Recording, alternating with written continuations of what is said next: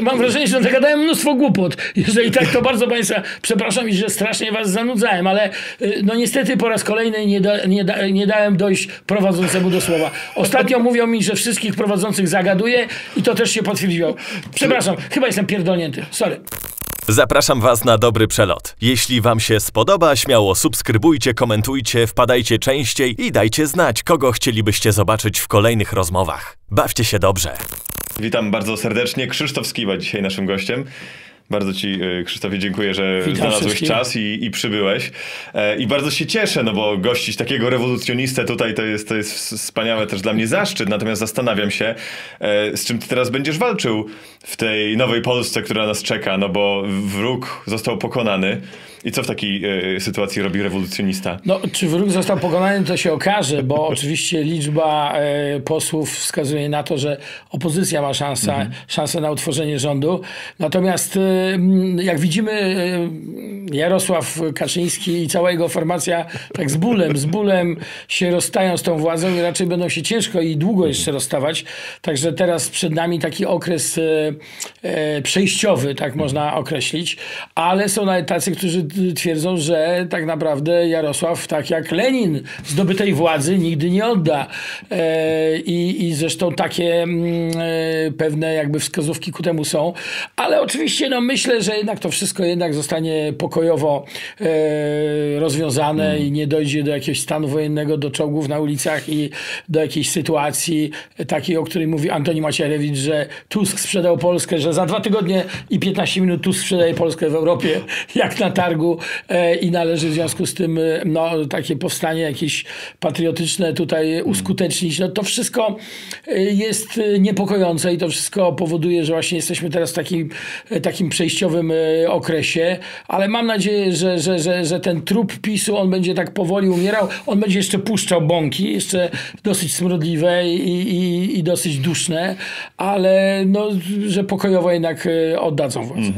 Tak a propos... Ale ja zawsze sobie, słuchaj, ale wracając, to, że już będzie, zakładamy, rozumiem, że twoje pytanie zakłada, No. że mamy już nowy rząd, już jest, e, e, PiS jest w opozycji, Jarosław jest w opozycji i tak dalej, e, to powiem ci tak, że ja zawsze znajdę sobie, ja nie, nie zamierzam być apologetą tego nowego rządu, także jeżeli tam, a tam też nie brakuje jakichś dziwnych osobników, na przykład ku mojemu przerażeniu i zaskoczeniu do Senatu dostał się Waldemar Pawlak, no karta już zupełnie zgrana i człowiek, który wiesz, nie wiem czy wiesz, że on jak kicha to nie rusza żadnym mięśniem, e, czyli człowiek maska, człowiek, który był premierem tego kraju dosyć takim nieudacznym, naczelny strażak kraju, o nim tak mówią, bo był zawsze, miał jakieś przełożenie na ochotnicze straże pożarne. I pewnie on powinien być takim dożywotnim właśnie, nie wiem, honorowym prezesem OSP albo jakimś takim człowiekiem remiza, remizą, który tam w tych remizach jest hołubiony, ale czy on powinien wracać do wielkiej polityki? Tu mam spore jakby wątpliwości i paru takich złogów, e, szczególnie właśnie w PSL-u się, się dostało. No ale cóż, no taki był, taki był, e, taka była decyzja wyborców i e, takich ludzi wystawiono na tych listach.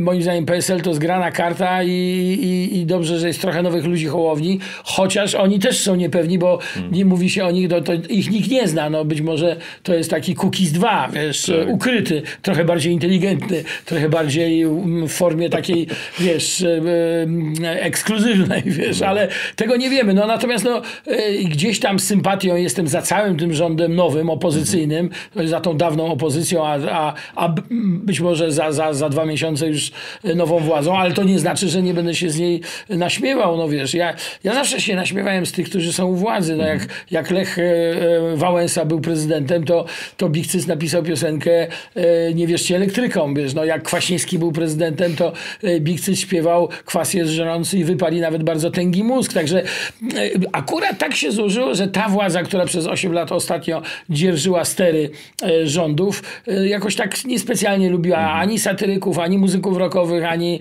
w ogóle nie, nie lubiła dowcipów na swój temat szczególnie. Ja przypomnę tylko, nakreślę może taką obraz, bo może nie wszyscy e, pamiętają, pamięć ludzka jest krótka. To właśnie PiS, to właśnie Jacek Kurski wyrzucił z TVP kabarety. No kabarety były od zawsze w telewizji. Za komuny były kabarety kabarety. Przecież kabaret tej krytykował komunistów na oficjalnych festiwalach w Opolu. No, te wszystkie żarty, które słyszeliśmy, tego pamiętnego duetu Laskowik-Smoleń, które no, naigrywały się z tego, że, że socjalizm jest jakby systemem niewydolnym ekonomicznie, są puste półki. Cały taki kultowy program z czasów PRL-u, to on był wystawiany, który się nazywał z tyłu sklepu. No bo oczywiście z przodu sklepu nic nie ma, ale z tyłu te sklepowe sprzedawały tam, mhm. Wiesz, różne luksusowe produkty, które wówczas były luksusowymi, nie wiem, takie jak e, kaszanka, papier toaletowy czy, czy słonina. To, to były rzeczy, wiesz, nie do kupienia tak normalnie, stąd ten tytuł z tyłu sklepu. I on był wystawiany na oficjalnym festiwalu, e, wiesz, piosenki w Opolu. E, krążył później e, e, na kasetach wideo, krążył na kasetach magnetofonowych jako, jako po prostu no, takie wolne słowo. I to się za tych strasznych komunistów działo. Natomiast no, no, za zapisu właśnie kabaretom w, w TVP. E, oczywiście one były gdzieś w Polsacie, w innych jakichś w internecie. Dzisiaj nie jest tak łatwo kontrolować to wszystko, ale jednak no, to jest władza, tu już robię kropkę, Aha. która za humorem na swój temat nie przypada. Ale właśnie ta, Twoja historia e, i, i PRL-owska, i późniejsza jest bardzo ciekawa, więc też trochę o to chciałem Cię zapytać, ale najpierw patrząc trochę i referując to do współczesnych czasów, czy Ty dzisiaj w środowisku, czy artystycznym, czy społecznym, widzisz kogoś, kto jest takim uosobieniem, uosobieniem tego środowiska rebel, kto byłby e, takim odpowiednikiem współczesnym tego Waszego pokolenia punkowych anarchistów walczących z systemem? Wiesz co, no bardzo dużo jest takich grup, no chociażby e, Lotna e, Brygada Opozycji, to jest e, taka grupa happeningowa z Warszawy, która robi fantastyczne happeningi, nie wiem czy nie lepsze niż te, które myśmy robili w latach e, 80. E, no, to są ci ludzie, którzy na przykład e, e, na Halloween przynieśli dynię Jarosławowi Kaczyńskiemu i dynia została aresztowana, nie wiem czy znasz ten mhm. happening. To są ci ludzie, którzy śpiewali pod domem Kaczyńskiego przed wyborami ta ostatnia niedziela niedziela, e, jutro się rozstaniemy. No, słynny przedwojenny hit, który był dosyć wymowny. No, zresztą na, cała masa różnych naprawdę niezłych happeningów w wykonaniu tej lotnej brygady opozycji. Zresztą ja nakręciłem wspólnie z nimi, e, jakby mm, e, podając sobie takie rewolucyjne ręce różnych pokoleń, mm, wspólnie teledysk pod, zresztą nie do końca legalnie kręcony teledysk pod gmachem Narodowego Banku Polskiego. To była piosenka mm, o panu Glapińskim, który jak wiemy jest ojcem inflacji, będzie jeszcze pewnie przez jakiś czas.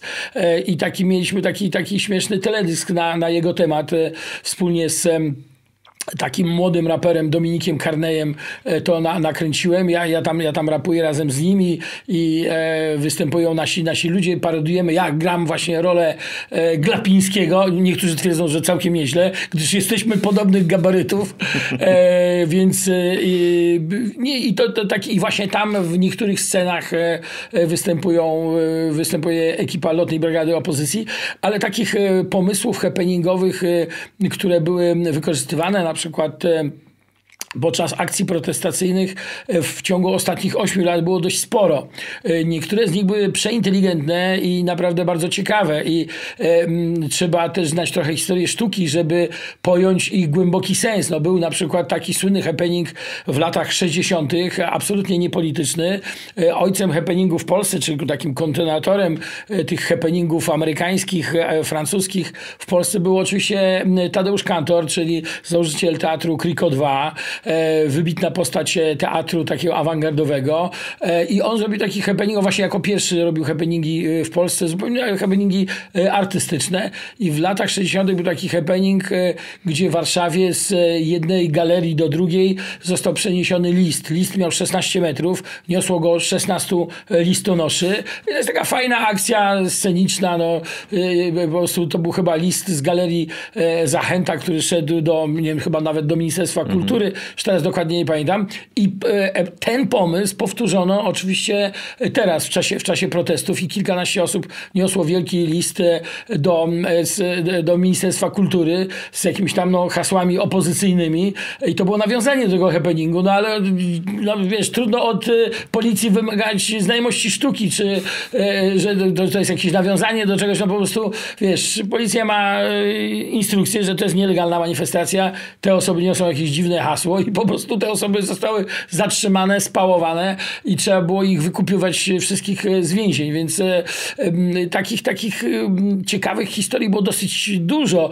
Na przykład no, słynne akcje z wyświetlaniem na przykład hasła Konstytucja na gmachu Urzędu Rady Ministrów. No, to jest fantastyczna akcja i w ogóle dużo takich akcji było, że, no, kolumna Zygmunta z e, transparentem Konstytucja mm. i tak dalej. Szczególnie te akcje z wyświetlaniem różnych opozycyjnych haseł na opozycyjnych. No, hasło kon, Konstytucja nie jest opozycyjne. Mm. To jest raczej, raczej przypomnienie rządzącym, że to jest e, e, najważniejszy akt prawny w naszym kraju i łamanie go, no, no niestety będzie mm. się mhm. wiązało z konsekwencjami. Mam nadzieję, no, a łamał go wielokrotnie prezydent Duda i, i, i przede wszystkim Beata Szydło i wielu innych dość znacznych polityków mhm. PiSu.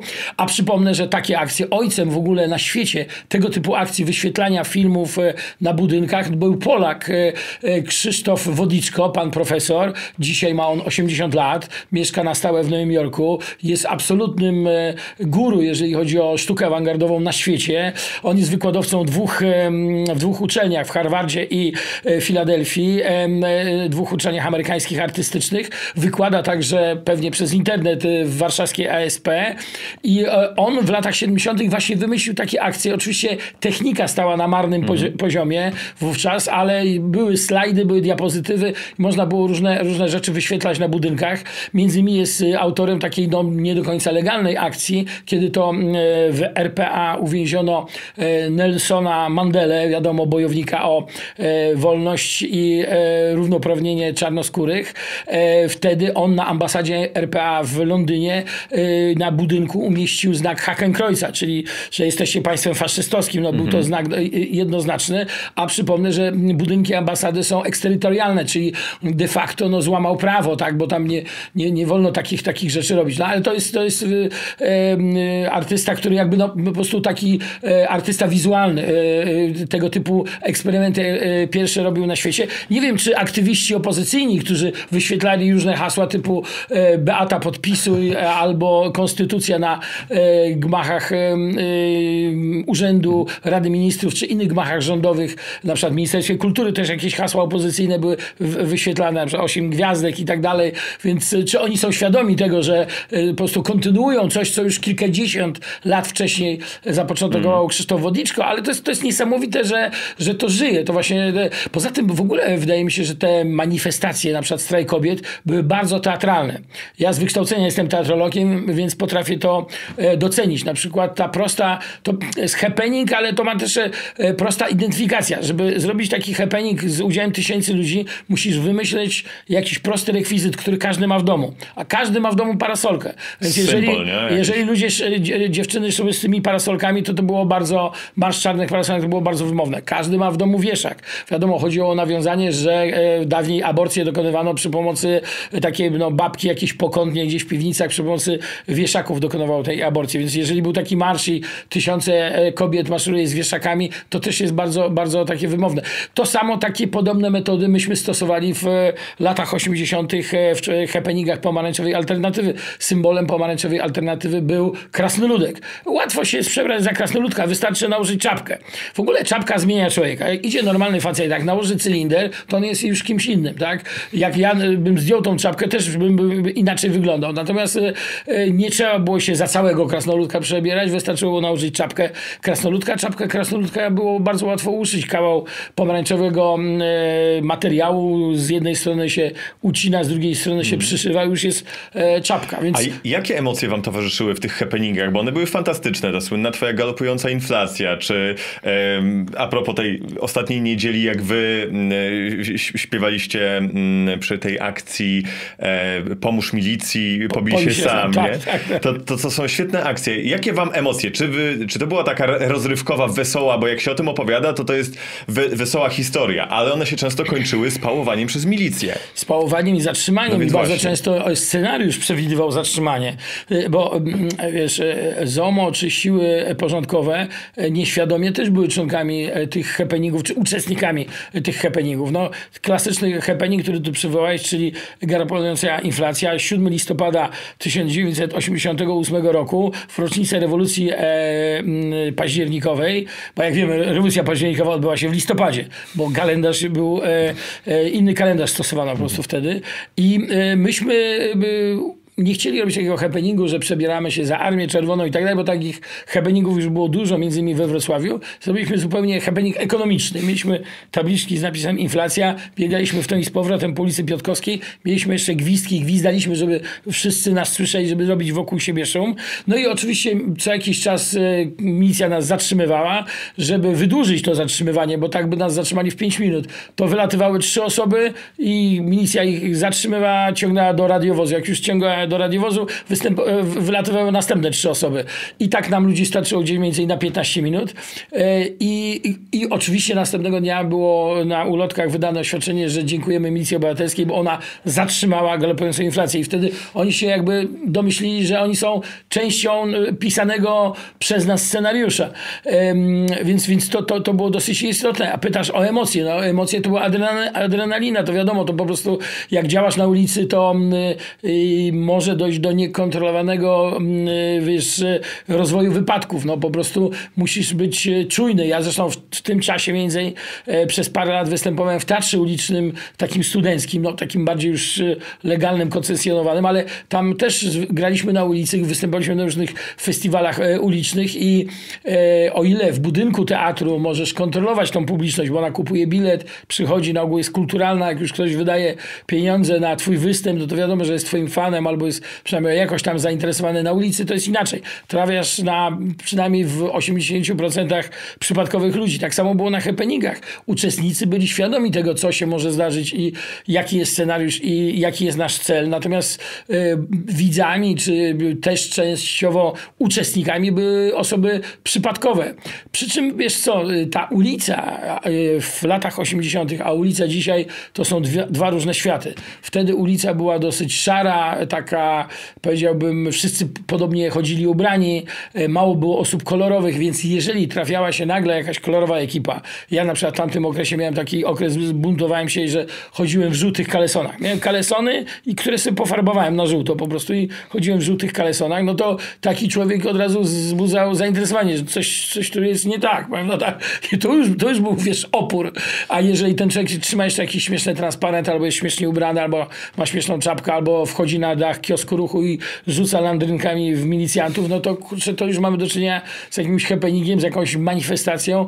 E, i to rzeczywiście powodowało, że ludzie na to żywo reagowali. E, I dość łatwo było zebrać tłum ludzi wokół, jak już zaczynaliśmy, zrobiliśmy taką akcję happening niezależne obchody Dnia Dziecka i weszliśmy właśnie na kiosk ruchu, to w ciągu dosłownie paru minut tam zebrało się z 2000 osób.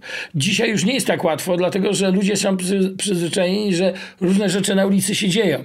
Dzisiaj gdyby szły... Wiesz, youtuberzy nagrywają pranki, jakieś dziwne akcje, nie? Więc takie rzeczy mijasz po prostu na ulicy regularnie. To też, wiesz? ale wiesz co, ale ta ulica jest bardziej kolorowa i ta ulica jest taka bardziej, wiesz co, y, na, na przykład no, y, pamiętam, pamiętam, że zrobiliśmy w rocznicę jakiegoś happeningu, zrobiliśmy happening w Warszawie i oczywiście byliśmy wszyscy już, już w wolnej Polsce, już to był tam 2006-2007 rok. E, zrobiliśmy zresztą dość dobry antywojenny happening e, pod tytułem, że budujemy Muzeum III wojny światowej.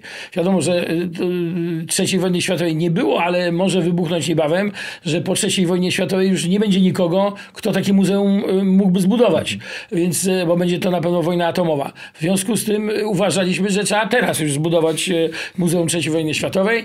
Ja pamiętam, że mieliśmy na przykład w takich różnych butelkach, słoiczkach, w słoikach, w słoikach, zwykłych słoikach, popiół z kominka. Wybraliśmy taki popiół, popiół kominkowy i mieliśmy to po, po, po, pełno takich słoików z napisami różnych miast. Tokio, Warszawa, e, Nowy Jork, Radom, Ciechanów, Londyn, wiesz, Madryt i tak dalej. Jakby to działało na ludzi, że co ewentualnie z tych miast e, zostanie i też handlowaliśmy tymi, tymi, tymi, tymi e, właśnie w tym muzeum, że przepraszam, kto chce Londyn, proszę bardzo, chce pan Londyn i tak dalej, może pan sobie na telewizorze postawić i tak dalej.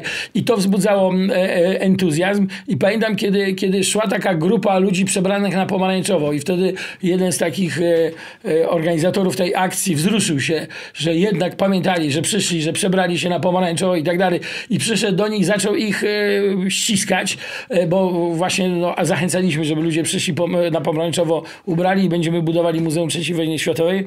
No i co się okazało? Że ci ludzie byli zaskoczeni, że my ich ściskamy. O co tu chodzi? Że to była po prostu reklama jakiejś telewi- tej telefonii komórkowej Orange. Oni byli po prostu na pomarańczowo uda- ubrani służbowo. Im płacono za to i oni na ogół, wiesz, rozdawali jakieś e, ulotki, ulotki no. i ludzie uciekają przed tymi ulotkami, bo nikt nie chce brać tych śmieci, wiesz, bo co chwilę ktoś, a tu jakaś pizzeria rozdaje ulotkę, to jakaś, wiesz, nie wiem, ubezpieczalnia, to jakieś właśnie telefonia komórkowa i tak dalej. Ludzie tych ulotek już nie biorą, a myśmy te akcje robili w czasach, kiedy nikt nie rozdawał żadnych ulotek, bo nie było komercyjnych, wiesz, historii, bo po prostu do, do każdego sklepu stała kolejka, więc ulotki były mhm. reklamowe, nie były potrzebne. Sklepu mięsnego nie trzeba było reklamować, bo o czwartej rano już stała kolejka, e, a o ósmej otwierali, że może jakąś kiełbasę rzucą i tak dalej. My, a jedyne ulotki, jakie były, to były ulotki opozycyjne. I te ulotki były bardziej czytane niż legalna prasa, która komunistyczna, która leżała e, w kioskach, więc te ulotki znikały bardzo szybko. Ja na przykład, jak miałem sytuację takie, że rzucałem nielegalne ulotki i później w Jarocinie mnie zatrzymano, to problem był z, e, z tym, że nie było dowodu zbrodni, bo wszyscy te ulotki wyzbierali, wiesz, i oni nie, nie, nie, nie mieli jakby, wiesz, no, ważnego dosyć takiego, takiego dowodu oskarżenia. Rzeczowego, tak, ale Rzeczowego, to się co, tak. rozrzucało na ulicę, czy wkładałeś w jakieś miejsca, żeby ludzie mogli sobie je brać, czy po prostu się na wszelkie sposoby je e, Nie, no techniki były różne, na, na, no. znaczy nie, nie, no rzucałeś ulotki na przykład podczas mhm. manifestacji, albo okay. jak jakieś msze za ojczyznę i ludzie wychodzili z kościoła i był tłum y, taki opozycyjnie nastawiony, to wtedy się rzucało no. ulotki. No ja rzucałem ulotki na przykład na też RSA, rzucał ulotki, takie ugrupowania mhm. anarchistyczne tak, tak. E, na różnych festiwalach rockowych, nie tylko w Jarocinie, ale wszystkich koncertach możliwych, jakie, jakie, jakie były. E, koncerty kapel punkowych były regularnie ulotkowane i tak dalej. Natomiast znamy to później z raportów, bo po latach oczywiście otworzyły się archiwa bezpieki i są na przykład meldunki, także na koncercie Republika ujawniono tam jakiś przybywający prywatnie, wiesz, sierżant MO ujawnił taką i taką ulotkę. Jest ta ulotka na przykład, na, którą ja rzucałem, także on akurat no, był na koncercie po prostu i, i jako dowód, że, że, że dokonano takiego przestępstwa albo na koncercie, nie wiem, grupy Deserter i tak dalej, i tak dalej. Więc taki w raportach to wychodzi, gdzie oni, wiesz, też wiele, raczej no, koncerty rockowe to nie była ich domena i raczej tam e, rzadko przybywali, chyba, że takie duże jak Festiwal w Jarocinie. No właśnie, ale bo to, bo to brzmi jak w ogóle świetna zabawa. Cała ta y, wojenka rewolucyjna z PRL-em i tak dalej. Czy wy się na przykład baliście o swoje życie, albo czy rodzina się o was bała? No i jak to wyglądało, kiedy trafiłeś do tego aresztu? To był 85 rok, tak? 16 sierpnia. I jak to wyglądało w ogóle, wiesz, przebywanie w PRL-owskim areszcie? Rodziny się bały, to na pewno. Rodziny się bały. Ja pamiętam, że, że byłem w, chyba w drugiej klasie liceum i dostałem jakąś pierwszą partię jakichś książek do, do e, rozkolportowania. Do, po prostu chodziło o to, żeby to gdzieś sprzedać wśród zaprzyjaźnionych, znajomych e, ludzi i wtedy mój ojciec wystąpił z inicjatywą, że on da mi pieniądze, że ja mam temu wydawcy dać te pieniądze, a te książki nie będziemy nigdzie sprzedać, tylko zakopiemy je gdzieś na, na działce. Ja mówię, nie, no to jest to tak nie można, to, to jest po to, to jest wolne słowo i tak dalej, ale to pokazuje, że jednak rodzice się, rodzice się bali. Natomiast y, ja akurat pochodziłem z takiej rodziny, gdzie ojciec był marynarzem rzadko bywał w domu, więc nie miał czasu mnie wychowywać. E, pływał na, na statkach e, handlowych, a mama z kolei była zapracowana, była architektem, więc wychowywała mnie siostra, no a siostra już nie miała takiego na mnie wpływu, więc e, rozpuszczono mnie jak dziadowski bicz ja naprawdę robiłem co chciałem. W związku z tym ten strach był, ale nie tak duży jak w innych rodzinach. Na przykład pamiętam, że jeden z kolegów z liceum Matka zabrała mu buty, żeby nie poszedł na manifestację. I on na bosaka przyszedł do mnie i ja mu dałem jakąś swoją drugą parę i pożyczyłem mu i on w takich dosyć przyciasnych, bo był wyższy ode mnie, przyciasnych butach, ja już w swoich poszliśmy na manifestację. Więc y, tego typu historie, historie bywały. Natomiast no wiesz, nie, nie, nie boi się tylko wariat, wiadomo. Natomiast rzeczywiście no ja należałem do takiego środowiska ludzi dosyć, którzy mieli, wiesz, dosyć połamane życiorysy, dosyć takich e, e, środowisk alternatywnych, które e, tak czy inaczej były już po prostu e, wewnętrznie już były tak antysystemowe i opozycyjne, że jakaś forma walki takiej czy innej to była dla nich coś jakby oczywistego i normalnego. Taki sens życia wam to nadawało, że czuliście brak perspektyw, więc to była jedyna droga, coś w tym stylu? Brak perspektyw to jedno, no to, to była rzeczywiście, no w, w, w komunie mogłeś zrobić karierę tylko i wyłącznie przy pomocy jakichś partyjnych szczebli do kariery, czy, czy trzeba było się ześwinić, żeby, żeby, żeby na przykład być w mediach. No, nie, nie dało się być czystym w mediach. No, większość te osoby bardziej lub mniej, ale były jakoś umoczone e, w system. Więc no, Chyba członkiem partii trzeba było być w ogóle, żeby występować w mediach. W większości tak, tak, tak, tak. W większości tak. No nie, nie wszyscy, no nie przesadzajmy. Byli też ludzie, którzy nie, nie byli w partii, a byli w mediach, ale na pewno nie w programach e, politycznych. Tam, tam e, raczej to obowiązywało. Wiesz co, w latach 80. to się wszystko już zmieniało, dlatego że już była Solidarność, już była no tak. sytuacja taka, e, w modzie było rzucanie legitymacji partyjnych. Nawet ci, którzy byli kiedyś w partii, no po tych strajkach w sierpniu, a szczególnie po stanie wojennym właśnie rzucali legitymacje partyjne, bo, bo no tak, tak było, to było modne i to było w dobrym tonie i to było, że no z wami to już nie chcę mieć nic, e, taki przynajmniej symboliczny akt, że z wami nie chcę mieć e, nic do czynienia. Wiesz co, co, co do samego zatrzymania w Jarocinie, nie chcę tutaj, żeby to było takie mocno kombatanckie i takie, wiesz, bo, bo, bo e, takie cierpiętnicze, bo to były też elementy zabawowe w tym. No, my byliśmy też młodymi ludźmi. No, system nam przeszkadzał. Ja tak naprawdę byłem mega zabawowy, a system przeszkadzał mi się bawić. W związku z tym ja walczyłem z nim, żeby móc, móc normalnie się realizować. Nie, nie byłem jakby z ducha rewolucjonistą, tylko stałem się nim z przymusu, bo, bo system zabraniał mi, e, nie wiem, wydawać gazetek, bo trzeba było mieć e, koncesję, trzeba było mieć zgodę cenzury i tak dalej. E, kabarety, wszystko było kontrolowane przez właśnie Urząd Kontroli Publikacji Widowisk, zwany w skrócie Główny Urząd Publikacji Kontroli Wydawnictw, natomiast w skrócie zwany cenzurą tak, tej, tej nazwy. Zresztą sama cenzura była też, yy, nazwa była też cenzurowana. Nie? W mediach nie było, wolno było pisać legalnych o, o cenzurze. Wiesz, mówiono o jakimś potrzebie, potrzebie kontroli i tak dalej. To, to zupełnie inaczej brzmi. Tak samo jak na przykład przez pewien czas jeszcze w latach 70., 60., 70. Yy, i, i na początku lat 80. nie używano słowa strajk. No, słowo strajk było, no jak w socjalizmie nie ma strajków. Mówiono przerwy w pracy. Wiesz, nieuzasadnione przerwy w pracy. Że w Warszawie doszło, w Hucie Warszawa doszło do nieuzasadnionych przerw pracy to nie wiesz co zrobić. Upili się czy co, czy, czy wiesz, obejrzeli serial Dynastia i zapomnieli przyjść do roboty. No wiesz, nieuzasadniona przerwa pracy. To były protestacyjne strajki, ale tak wprost nie można było e, pisać. Właśnie pisano, mówiono często między wierszami. To, to niektórym do dzisiaj zostało, że, że właśnie, że właśnie wolny świat e, wypowiadał się e, w prostych słowach, wprost. Właśnie kapele punkowe zachodnie, a angielskie na przykład, to mówiły wprost. Coś ich wkurzało, to, to o tym mówili, o tym pisali. A a u nas nie. U nas być może to było też e, o tyle ciekawe, że roz, rozwijało wyobraźnię, bo, bo takie pisanie między wierszami, właśnie jakieś puentowanie rzeczy i tak dalej odpowiednio spowodowało, że no... To jest bardzo kreatywne. To, bardzo Ten kreatywne, przekaz jest tak, ciekawszy, bardziej właśnie taki dzisiaj jakby konsument internetu zgłupiał, bo dzisiaj on jak nie ma ikonki, że jest śmiech, a śmiech, aha, to jest śmieszne. A, a to, to, to nie wiesz, kiedy jest. Ja na przykład, e, zresztą to, to, to tutaj autorem tych słów jest wybitny polski poeta Marcin Świetlicki, który powiedział, że właśnie przez internet ludzie zgupieli kompletnie, bo nie wiedzą, czy nie ma jakby w internecie masowo, nie rozróżnia się, co to jest sarkazm, co to jest ironia. Te rzeczy są w ogóle nie, nie, nie, nie czytane. Tak? Czyta się wiele tekstów wprost.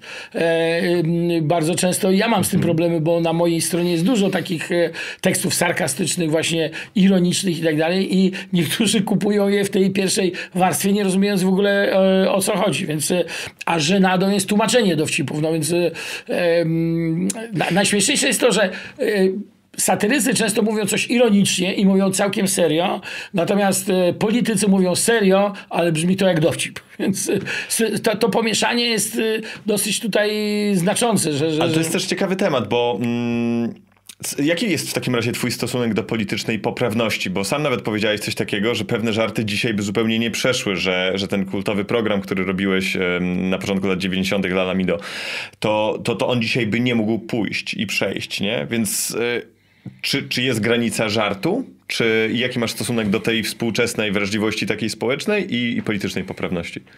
Słuchaj, na ten temat są różne e, teorie. Oczywiście ja jako komik satyryk jestem raczej przeciwko poprawności politycznej, ale rozumiem też, że ona być może w kulturze takiej właśnie parlamentarnej mówi się język parlamentarny, chociaż ja wiem, czy posłowie używają języka parlamentarnego.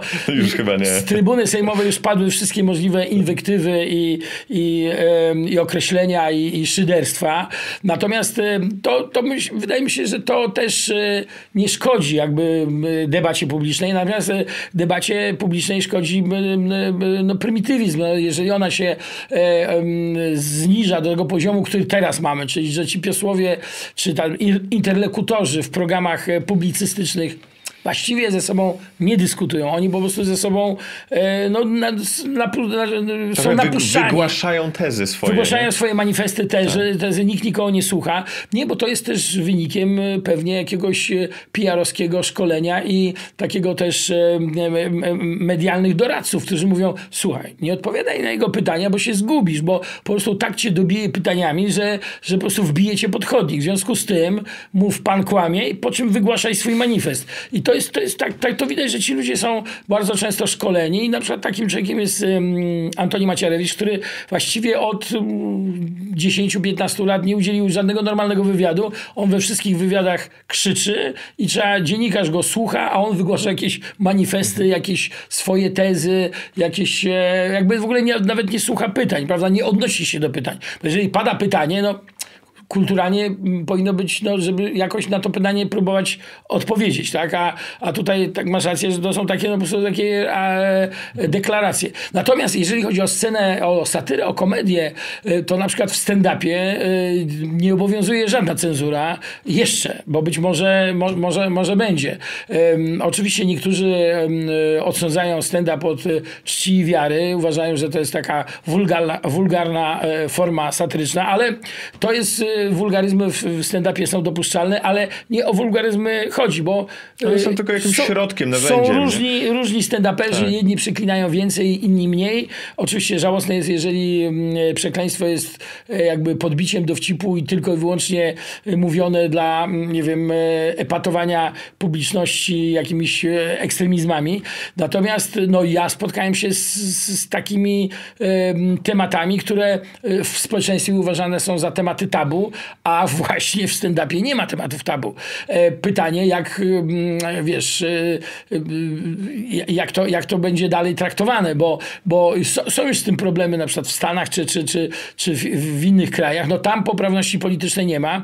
No na przykład w Stanach, gdzie te sprawy rasistowskie są bardzo, wszyscy są na nie bardzo wyczuleni, to wiem, że w stand-upie one nie, nie obowiązują, tylko głównie mhm. jest tak, że te dowcipy powiedzmy rasistowskie opowiadają czarnoskórzy komicy. Jeżeli czarnoskóry komik mówi bardzo ostry dowcip e, właśnie o czarnoskórych, to to jest absolutnie e, dopuszczalne i tolerowane i tam są, widziałem, słyszałem kilka takich, takich żartów, które, których ja bym w życiu na scenie e, nie powtórzył. Znaczy, wiesz co, no, każdy ma jakiś swój styl i zwykle stand-up to jest wiesz, opowiadanie żartów, dowcipów. Co to jest mhm. dowcip? Dowcip to jest krótka opowieść humorystyczna, czyli nie na serio. Nie możemy tego robić na serio. Jeżeli jest, fajna jest taka zasada roastu. Jak są roast czyli e, kilku komików nabija się z jednego takiego jakiegoś celebryty czy artysty mega znanego.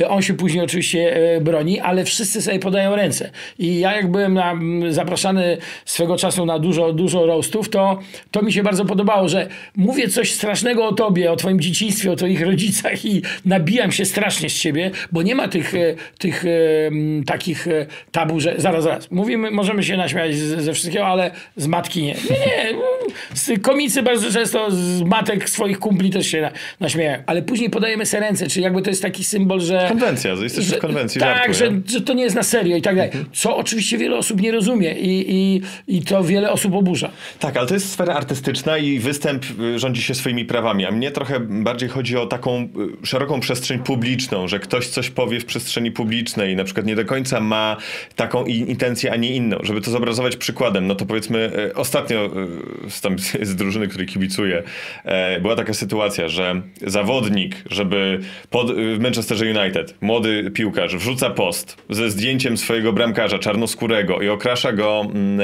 e, emotką tam e, goryla, żeby podkreślić, że siła tego bramkarza, że świetnie się spisał, bo tam obrona, ob, obronił karnego. I teraz Federacja Piłkarska sprawdza, czy to nie jest rasizm, a ten bramkarz publicznie oświadcza, że ej, jakby sorry, to ja zdecyduję, kiedy ktoś mnie obraził, a nie wy. Nie? Czy jakby nie Mhm, przeginamy troszkę w drugą stronę? Na zasadzie, że fajnie, że dbamy o uczucia y, różnych grup społecznych, ale czy, czy to nie jest aż za bardzo, nie? Znaczy ja rozumiem, ta, no nie, to, to zdecydowanie tak, no to, to, że mamy, musimy się pytać o zgodę i tak dalej, to jest, to jest wiesz, e, w Polsce jeszcze ten problem nie jest aż tak nabrzmiały, ale rzeczywiście, no, no słuchaj, no, trzymajmy się polskich przykładów, no piosenka Makumba, e, która, To- to która też, w no latach właśnie. 90 była wielkim hitem, E, grało to, ten przebój chyba ponad 100 e, e, rozgłośni radiowych w Polsce, ona była na listach przebojów, okupowała największe listy przebojów największych stacji radiowych, małych, dużych i nikomu to absolutnie nie, nie, nie przeszkadzało. Natomiast no właśnie, czasy się zmieniają, trochę te 30 lat od tej Makumby minęło i teraz okazuje się, że słuchaj, stacje radiowe nie wracają do tego przeboju. Dlaczego?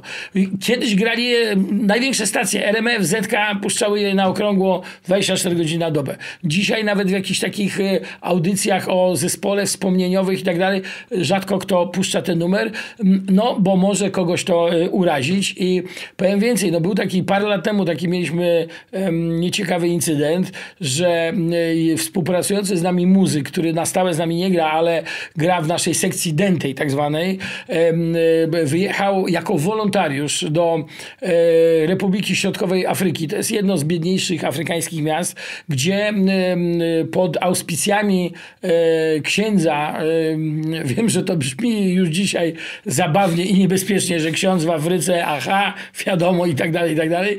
E, Słuchaj, on tam zbudował szkołę, tam jest, w ogóle Polacy zbudowali szkołę. Ten kraj jest ciągle, wiesz, raz, że tam, wiesz, wersja i biedny gospodarczo i oczywiście m, są i y, y, problem głodu i tak dalej, i tak dalej, ale między innymi no, y, też brak kompletnej edukacji. Właśnie ten, tą, tą bolesną lukę tutaj przynajmniej w jakimś wymiarze próbowali em, na, na, nadrobić, naprawić polscy misjonarze i zbudowano tam szkołę i, i też zbudowano y, przy tej szkole była jakby szkoła muzyczna. Bo jednak muzyka jest czymś uniwersalnym e, i, i każde dziecko gdzieś, gdzieś tam e, lubi tańczyć, lubi się bawić. Muzyka przemówi bardziej niż jakieś pogadanki i tak, tak, dalej. jest i tak dalej. panjęzykowa też, no, wiesz, do Tak, każdego tak, tak. trafia. I, i, I właśnie byli potrzebni muzycy, żeby, żeby tam w, w, za darmo, po prostu za przysłowiową michę, tylko za jedzenie. Oni nie dostawali żadnych pieniędzy. I on tam pojechał na taki staż, był tam parę miesięcy i on po prostu y, uczyli się też. E, technik grania na gitarze, na perkusji, przywieziono im instrumenty, tu robiono w Polsce zbiórki. No i powstała wśród tych, wiadomo, tak, grona e, uczniów, e, wyłuskano tych bardziej utalentowanych muzycznie i zrobiono z nich zespół. No i jedną z piosenek, oni grali różne piosenki, jedną z piosenek, którą, którą się nauczyli, to była Makumba, bo chodziło o to, żeby, żeby jakieś, jakaś polska piosenka. No więc oni sami sobie zresztą tą piosenkę z jakiejś tam propozycji wybrali. Być może dlatego, że była skoczna, że była jakaś no, pasująca i tak dalej, i tak dalej.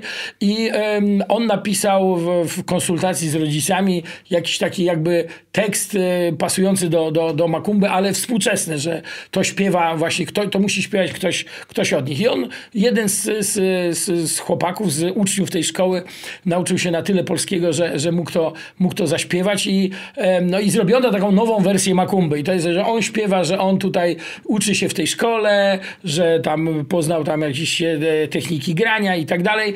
A chodziło o to, żeby ta piosenka e, zareklamowała zbiórkę pieniędzy w Polsce. Być może jakaś piosenka afrykańska czy inna nie odniosłaby takiego, nie, Nie zrobiła takiego efektu. No więc właśnie, więc po to to zrobiono świadomie, e, a chodziło o to, żeby sfinansować trasę tego zespołu po Polsce. Że ten zespół złożony z dzieciaków właśnie z tej Republiki Środkowej Afryki, no i teraz się zaczęło. No oni tam nagra nagrali tą piosenkę, nakręcili teledysk, w ogóle jakby bez udziału zespołu, tylko ten nasz kolega, który czasem na dużych koncertach grywa z nami e, na, na, w sekcji dentej, e, jakby e, poprosił nas o zgodę, myśmy się zgodzili i tak dalej. I oczywiście, żeby to... Y, I, i ten teledysk był umieszczony na y, y, YouTubie polskim i pod zbiórką właśnie zbierano na trasę, trasę tego zespołu. E, akcja zaczęła się, kiedy zespół e, ten, ten, ten teledysk umieścił na swoich kanałach e, bikcycowych i co więcej pokazaliśmy fragment właśnie takiego mini reportażu, jak, jak w tej szkole się te dzieci uczą, jak to wygląda ich życie i że zbieramy pieniądze właśnie na, ten, na trasę tego, tego zespołu w jednym z programów telewizyjnych. No i wtedy zaczął się hejt. Zaczął się hejt, a mm, sygnał do hejtu dała czarnoskóra Polka, która powiedziała, że ta piosenka ją w dzieciństwie ją prześladowała i tak dalej. I teraz zespół po latach, już piosenka jest zapomniana, chociaż była wielkim hitem, jest zapomniana, teraz po latach zespół jeszcze wraca i tak dalej, i tak dalej. I, i tu potoczyła się właśnie dyskusja e, na temat, który zadałeś, czy, jak z tą poprawnością polityczną, czy, czy to jest e, tylko i wyłącznie dbanie o kulturę, żebyśmy nie obrażali słabszych, e, nie wiem, osoby niepełnosprawne, osoby o innym kolorze skóry, osoby o innym hmm. wyznaniu, czy to jest po prostu wyraz naszej, naszej dbałości o kulturę, o e, kulturę towarzyską, kulturę nieobrażania, e, czy to też jest może czasem e, jednak przesada, która nam zaczyna kneblować usta i, i knebluje na przykład satyrę i, i, i mnóstwo ludzi wypowiadało się przeciw tej piosence i że Bikcys jest w ogóle, są rasiści, najgorsi i tak dalej, a mnóstwo ludzi wypowiadało się też, że zmieńcie tego kija w dupie, bo po prostu wymińcie tego kija z dupy, bo po prostu przy takim sztywniactwie nie da się żyć, nie da się opowiadać żadnych żartów i to też wpływa trochę na, na naszą wolność, że to zaczyna ograniczać naszą wolność, że już teraz e, piosenka, która kiedyś no, jakby została zrobiona w dobrych intencjach, bo przecież jak się prześledzi tekst Makumby, to ona była antyrasistowska. To jest zdecydowanie tak. antyrasistowska. Zresztą, e, co dzisiaj się wydaje niewyobrażalne, w latach 90. E, myśmy w 97 roku otrzymali za nią nagrodę od, uwaga, ambasady Nigerii za propagowanie właśnie y, jakby postaw antyrasistowskich. Więc no, y, jakie było, jakież było zaskoczenie zespołu, kiedy jakby ta nasza strona, taka właśnie wyczulona na, na te wszystkie, powiedzmy ta strona lewicowa, wyczulona na te wszystkie właśnie rasistowskie sytuacje, nagle sama nas zaczęła atakować. I, i tutaj potoczyła się w różnych y, mediach internetowych jakaś taka przetoczyła się dyskusja. Ja mam nadzieję, że, że, że to nie o to chodzi, kto wygrał te, ten spór, bo to był spór, to nie była żadna wojna, no po prostu spór, czy można, czy nie można. Do dzisiaj gramy makumbę na, na koncertach i do dzisiaj ludzie przy niej się dobrze bawią, a ktoś, kto e, uważa ją za, za jakieś zło wcielone, to po prostu nie zrozumiał tekstu. Mhm. Może, może właśnie, no ale właśnie, może, bo zobacz, tej, ten przykład tej y, czarnoskórej Polki, która zwróciła uwagę, że ta piosenka ją prześladowała. E, tak, ale zaraz wystąpiła druga blogerka, słuchaj, która lubi Pichcyca, czarnoskóra z Poznania, która powiedziała, że absolutnie, że ona sama śpiewała makumbę i wygrała nawet jakiś tam konkurs karaoke, właśnie śpiewając makumbę, więc wiesz, okay, to jest tak. interpretacji właściwie. Powiedzmy sobie tak, wśród białych i wśród czarnych i wśród żółtych zawsze znajdą się ludzie z poczuciem humoru i ludzie bez poczucia humoru. Taka jest prawda. A to bardzo ładne. To wracając trochę jeszcze do tego PRL-u, bo, bo nie, nie skończyliśmy w wątku aresztu, bo jestem ciekaw, wiesz, jak, jak, to, jak to się dzieje, że cię aresztują, ja, i jak to wygląda w środku, Ale wiesz, co? czy cię rzucają, wiesz, no bo na pewno cię rzucili na ziemię, na glebę i wchodzisz tam i czujesz, jesteś. Czujesz, czujesz, że niedługo będziesz aresztowany i... Nie wiem, wiesz. Mogę ci zrobić małe szkolenie, mogę no, ci zrobić małe szkolenie. No, Słuchaj, nie, nie, no ja, ja zostałem zatrzymany w Jarocinie, bo e, rozrzucałem przez trzy dni ulotki razem z dwoma kolegami. Moi dwaj koledzy byli sprytniejsi, bo nie, nie dali się złapać, a ja trzeciego dnia e, ulotkowania, kiedy było dużo, już e, stadion był naszpikowany już takimi, takimi cywilnymi agentami właśnie służby bezpieczeństwa, którzy patrzyli, czy ktoś tam gdzieś czegoś nie rzuca. Rzuciłem po prostu dwie partie, bo chciałem iść, bo miał być koncert dżemu i chciałem już sobie koncert dżemu na spokojnie zobaczyć. Rzuciłem jedną partię i wtedy e, tłum e, rzucił się na, na te ulotki i wtedy rzuciłem drugą i przy tej drugim rzucie oni mnie jakby e, zauważyli. zauważyli. Mhm. Tak, tak. E, no i ja też popełniłem błąd, bo zamiast iść w głęboki tłum, to poszedłem w trochę inną, e, inną taką alejkę i tam zostałem e, zatrzymany. Po latach dowiedziałem się, że z papierów IPN-u, czyli z papierów no, Służby Bezpieczeństwa, że zatrzymał mnie funkcjonariusz Służby Bezpieczeństwa, sierżant o nazwisku Wesołek. Także y, Wesołek zatrzymał Wesołka, można tak to spuentować. Co ciekawe, no, zatrzymano mnie y, i przypięto kajdankami do kaloryfera w takim punkcie, który wzbudzał zaufanie. Właśnie to też jest e, e, dobra nauka na przyszłość. Nie być e, jakby otwartym na różne takie pułapki. E, otóż e, punkt Służby Bezpieczeństwa na festiwalu muzyków rockowych w Jarocinie, gdzie się mieścił?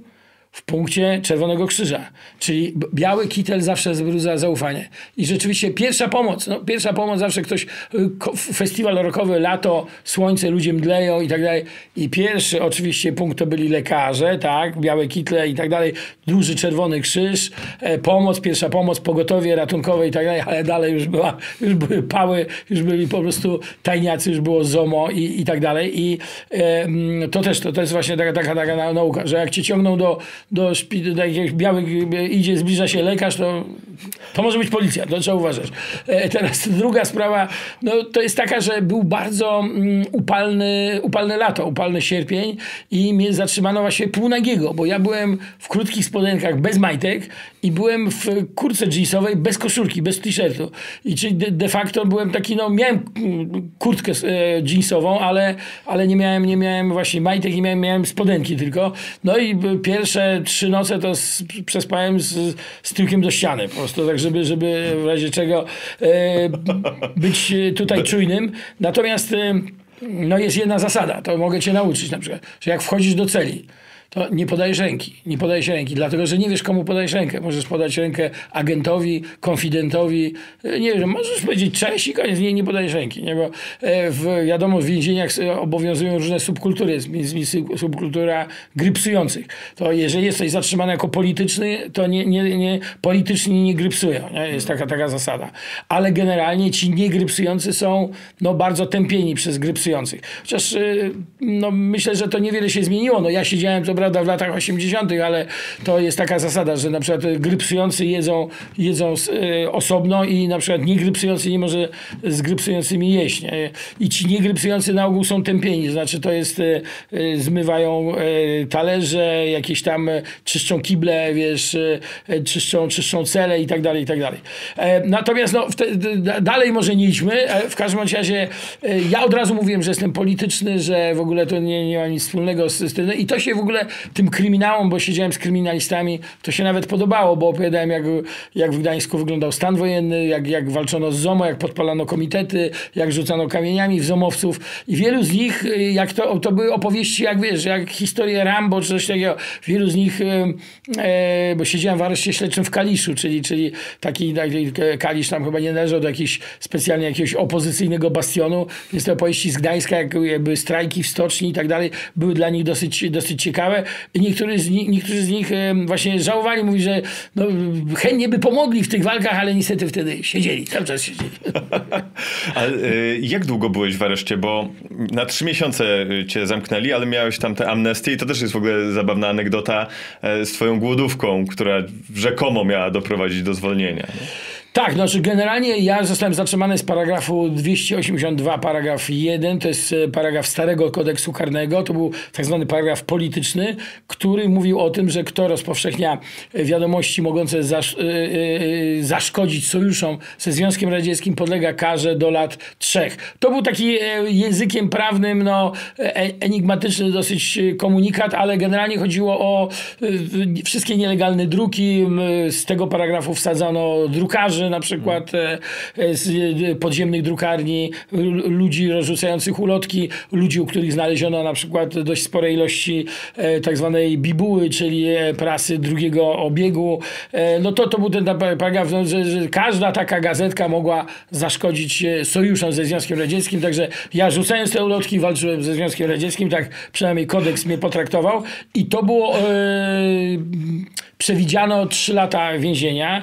Zwykle za akcje ulotkowe trafiano na rok do więzienia i wielu moich kolegów siedziało pół roku, rok. Natomiast ja się na tyle, tyle nastawiłem. Natomiast przypadek sprawił, że w tym czasie powstał taki ruch y, porozumienia narodowego, oczywiście utworzony przez komunistów. Na czele tego ruchu stanął profesor Jan Dobraczyński, taki pisarz katolicki, który był takim no, przez nas traktowany jako kolaborator kolaborant, no bo te, te, te, te ugrupowanie było takie kolaborujące z huntą e, Jaruzelskiego. Niemniej ono miało spełniać taką rolę quasi opozycji. No i ten ruch, żeby się uwiarygodnić, e, właśnie wystąpił do generała Jaruzelskiego z takim wnioskiem o wprowadzenie tak zwanej małej amnestii, czyli amnestii dla osób pierwszy raz karanych, pierwszy raz zatrzymanych, którzy no, powiedzmy pobłądzili, a może się nawrócą na socjalizm i tak dalej. No i ja właśnie do takiej grupy należałem. To była mm, mała amnestia w 1985 roku dla politycznych pierwszy raz zatrzymanych. Ci twardzi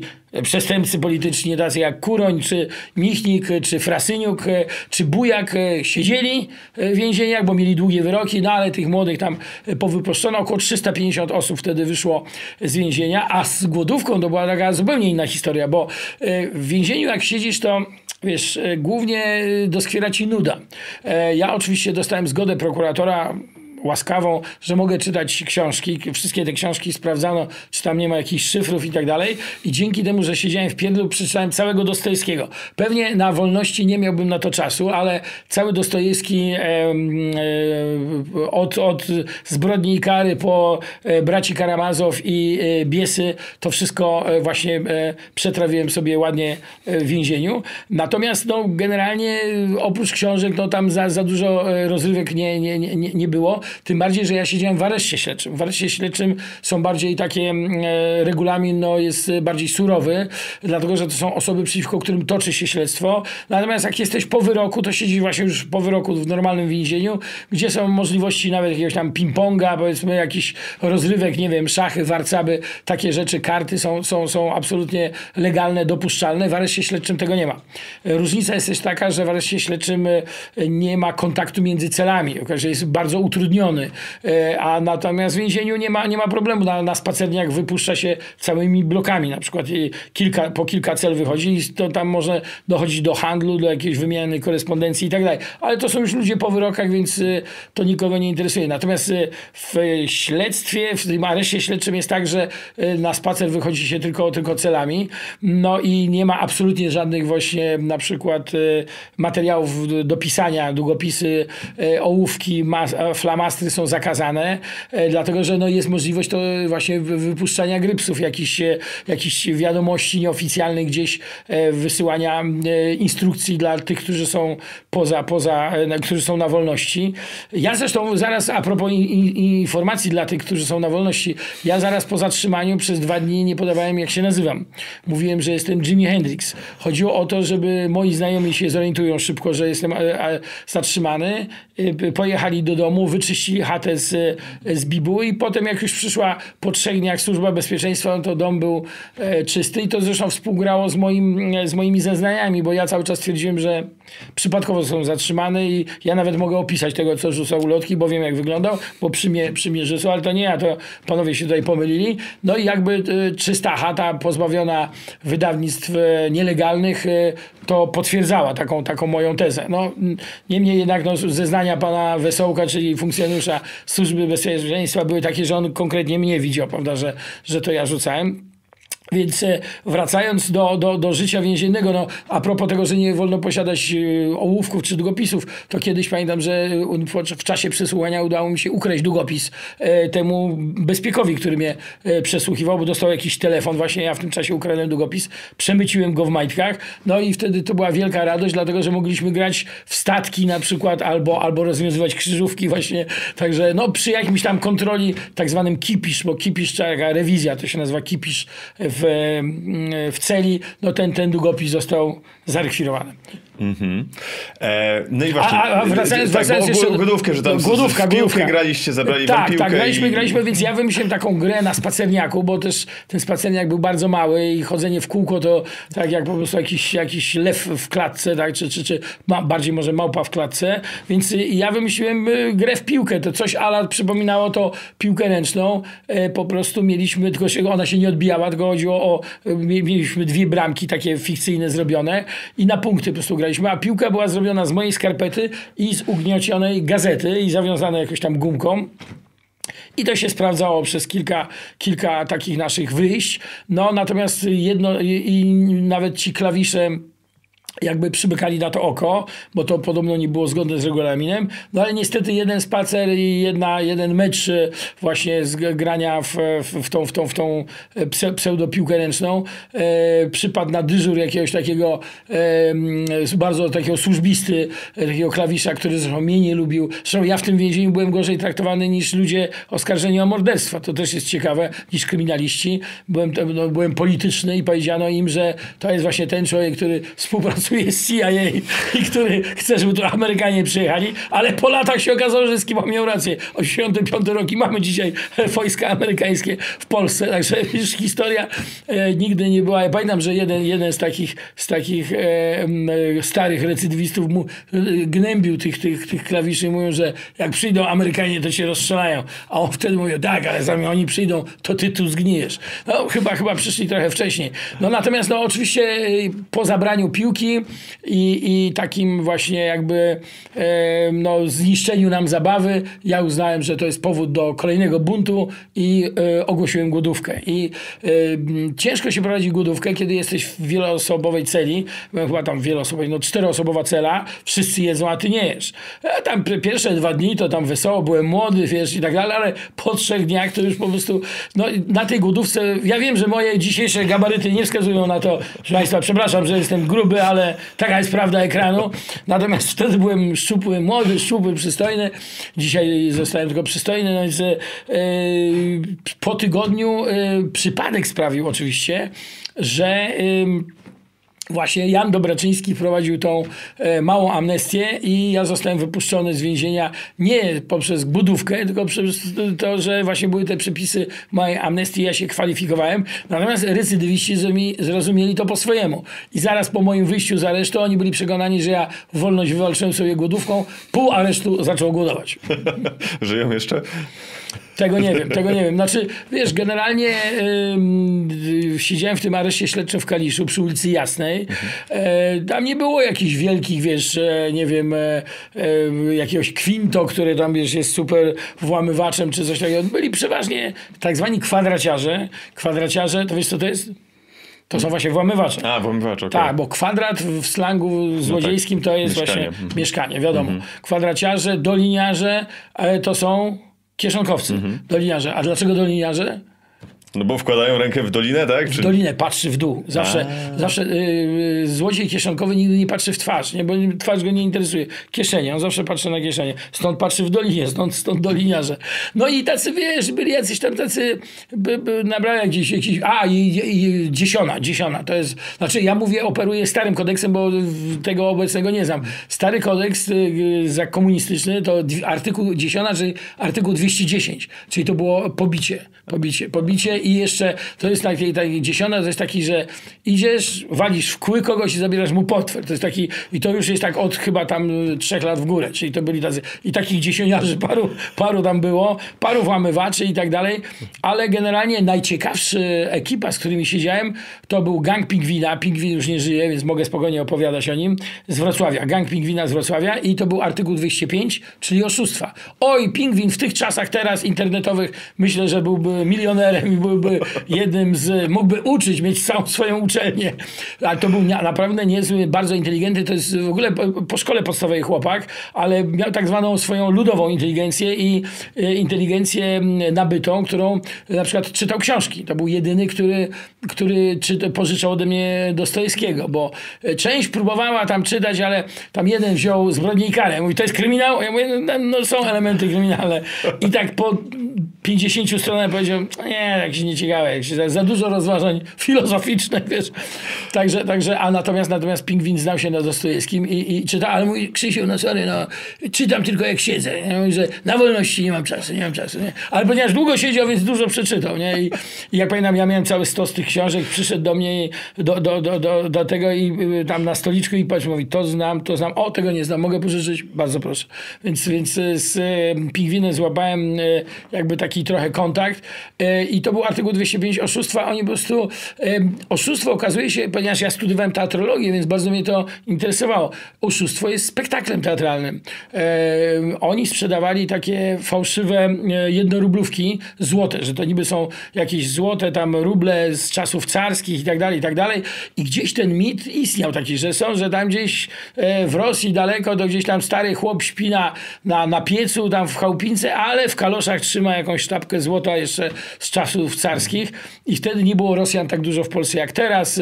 E, nie było oczywiście wojny na Ukrainie i tak dalej, więc ci Rosjanie, którzy nieliczni, którzy przyjeżdżali do nas, to byli zwykle Rosjanie turyści, czyli tacy, nikt tu nie pracował, broń Boże, z Rosjan, tylko oni byli jako ten pociąg przyjaźni słynny, przyjeżdżali w ramach, czyli musieli być w miarę zasłużeni e, i w nagrodę zostawali wyjazd, no prawie, że na zachód, bo do Polski, a tu już były gumy e, e, Donald, czyli prawie Ameryka, Pepsi-Cola, to była Coca-Cola, słone paluszki, które Gierek wprowadził, więc krakersy, więc takie rzeczy, których w Rosji ciężko było kupić i muzyka zachodnia przede wszystkim. Więc e, e, nawet był taki, taki, jakiś był taki zwyczaj, żeby jakiś Rosjanin, to trzeba mu pomóc, bo to tego... I on właśnie takiego grał, takiego naiwnego, że on no, chciałby coś żonie kupić, jest tutaj właśnie z wycieczką i e, był taki, nie, znaczy nie grał go pingwin, grał specjalny taki jeden mhm. z gangu pingwina, który rzeczywiście z urody, on był gdzieś tam spod Białego Stoku, przypominał takiego, e, wiem, że o, właśnie to jest niepoprawność polityczna, z, e, powiem coś niepoprawnego politycznie, z gęby przypominał klasycznego Ruska, po prostu. I, i tak za, mówił po rosyjsku i, i tak trochę po polsku, po rosyjsku i tak, no, że wiarygodny i na, na ulicy sprzedawał, a to był tombak, tak, to było po prostu, tylko że świeciło się jak złoto, ale to była blaszka nic nie warta. No i powiedzieli, że mają we Wrocławiu takiego kolegę, który im produkuje te, te, te, te złote rublówki. E, wygląda jak złoto, no ale no, po prostu tam się podrapie, to wiadomo, że to jest blaszka. No i ktoś, kto znał ceny złota, to oni oczywiście pół ceny. No i to, właśnie na tym polega też spektakl teatralny, że i na tym polega też oszustwo. Nabierzesz chytrego, tylko chytry się da nabrać, że znasz, znasz cenę, on oferował tą na ulicy i to był pierwszy, to jest akt pierwszy. E, ale jednak kupno na ulicy może jednak trochę wzbudzać, chociaż wtedy na ulicy ludzie kupowali dolary nielegalnie, e, handlowali przecież pod Peweksem cinkciarze, instytucja cinkciarza, która dzisiaj zniknęła jest po prostu legalnym e, handlem w kantorach wymiany walut. No wtedy była nielegalna, bo inny był kurs państwowy, inny był kurs realny no, w socjalizmie wszystko było udawane, tak jak dzisiaj ceny benzyny na przykład w, w Orlenie, które są kontrolowane. No, wolny rynek kontroluje jak jest naprawdę, ale ten kurs państwowy był bardzo tani, ale nie do kupienia. Kurs realny był oczywiście droższy. Na tych różnicach cinkciarze zarabiali. I tak samo było z wszystkim, co można było nielegalnie kupić albo wymienić. Też kwit w latach 80. handel wymienny. Nie, nie, nie interesowały nikogo pieniądze, bo te, za te pieniądze często nie można było nic kupić. Więc ja ci dawałem na przykład kanister benzyny, a za to brałem bebiko, czyli e, jedzenie dla e, niemowlaków, które nie było dostępne e, w sklepach. No i w ten sposób powrócono do handlu wymiennego gdzieś tam ze średniowiecza, ale właśnie realny socjalizm to ułatwił i tak odbywał się też ten handel tymi, tymi mhm. złotymi, że on chciał coś dla, że tam na u ruskich to nic nie ma, a tu jednak coś kupi dla, jakiś prezent dla swojej żony, no i cena atrakcyjna, no ale jednak ten człowiek na ulicy się waha. On się waha, on się waha i w tym momencie akcja podbicie. Scena numer dwa.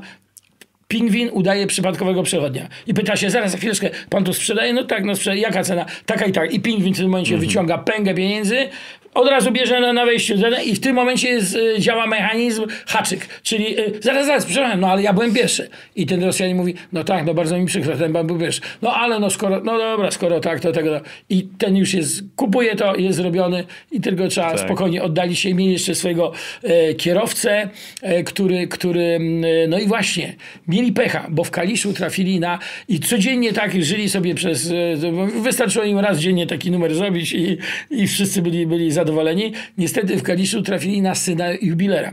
Zresztą oni wiedzieli, że żeby, żeby jeszcze utrudnić, wiesz, zwykle teraz nie wiem, ale teraz to pewnie działają dłużej, ale w PRL-u jubilerzy niewiele było tych zakładów jubilerskich. Też za bardzo im się nie chciało pracować. Bardzo często były zamykane o godzinie 17 już. No bo po co jubiler ma się prze... Ktoś, kto ma coś do jubilera, to sobie przyjdzie. Otwierane od 11, zamykane od 17 albo otwierane od 12 i że żeby latem to jest jasno do, do dziewiątej, więc e, e, wiesz, żeby nie można było tego sprawdzić jubilera, bo jubiler by się zorientował w 10 sekund, że to jest po prostu blacha. Więc no i polowali między 17 a 18, sprawdzali o której godzinie jubilerzy się zamykają i w, te, w tym momencie to, to, to, to po prostu e, się odbywało. Natomiast no, w Kaliszu trafili na syna jubilera, który poszedł do taty, mówi tata zobacz jak tanio kupiłem, tata sprawdził mi blacha. I niestety on zauważył, że oni wchodzą do Mercedesa, że ten, ten, ten Rusek wszedł do Mercedesa z wrocławską rejestracją. Taki Mercedes Beczka, kiedyś taki najbardziej model wypasiony za, za, za czasów PRL-u, kultowy zresztą model e, do dzisiaj. No i ponieważ w małych miasteczkach jest tak, że jubiler to zna i proboszcza, i szefa komendy, komisariatu i po prostu ten jubiler zadzwonił na policję, miał tam, czy na milicję obywatelską, miał tam jakiegoś kumpla i powiedział, że taka jest wrocławska rejestracja, no i szybko zaczęli, zaczęli e, szukać i znaleźli ich e, w jakimś, oni się zatrzymali w jakimś zajeździe pod Kaliszem, niedaleko. No, robota zrobiona, poszli na, na kolacyjkę, no i tam po prostu ich otoczyli w tym, w tym, tym i e, pingwin i i kierowca zostali zatrzymani, a ten y, ksywarusek, który grał tego, tego y, wyskoczył przez okno i uciekł w pole. Także te, tego, tego jeszcze wow. szukali, ale tych dwóch, tych dwóch mieli. Także wielka wpadka.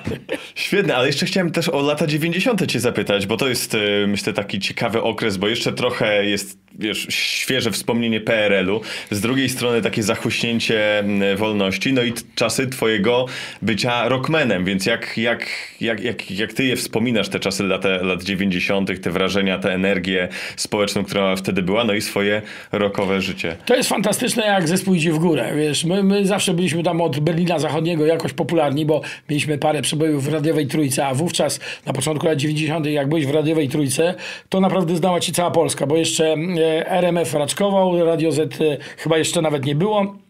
Więc jak e, Kapitan Żbik, e, Berlin Zachodni czy Piosenka Góralska trafiły na pierwsze miejsca e, radiowej listy przebojów radiowej trójki u Marka Niedźwieckiego, no to naprawdę byliśmy popularni, aczkolwiek z twarzy mało kto nas znał, bo wtedy jeszcze kabele rockowe nie pojawiały się w telewizji, ale 93 rok to jest program Lala Mido, który z czasem stał się programem kultowym i na początku zaczynał od jako taki program na wakacje, taki, że mamy coś, tu coś mówimy śmiesznego, tu puszczamy teledysk i tak dalej. W zasadzie taki mało ambitny, głupkowaty program, tak on bardzo szybko przekształcił się w program no, z e, takim absurdalnym poczuciem humoru i po latach stał się programem kultowym. Do dzisiaj są jakieś grupy na Facebooku, które po prostu e, mówią, że wychowali się na, na Lalamido i tam pojawili się moi koledzy z podziemia, właśnie Paweł Koniokonak, e, Paulus Mazur, e, e, Tymon Tymański, e, Jarek Janiszewski, to wszystko tak zwana gdańska scena alternatywna, ludzie związani z takimi podziemiem artystycznym z czasów PRL PRL-u,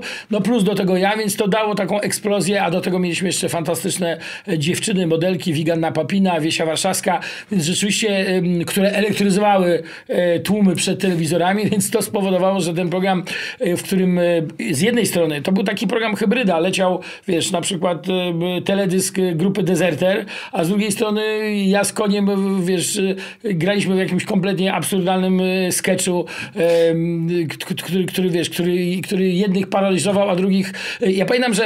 E, Oglądałem to wczoraj tam z jakimiś e, czasem pacynkami, figurkami, to, co, wygłupialiście słuchaj, się. To co, to, co jest tam w internecie, no. to jest tylko wycinek, bo Aha. tych programów tak naprawdę... One niedawno były parę lat temu powtarzane przez... TVP przez, Historia. TVP nie? Historia mhm. i TVP Kultura. TVP Kultura, tak, kultura tak, tak, prezentował tak, te, te, te, programy.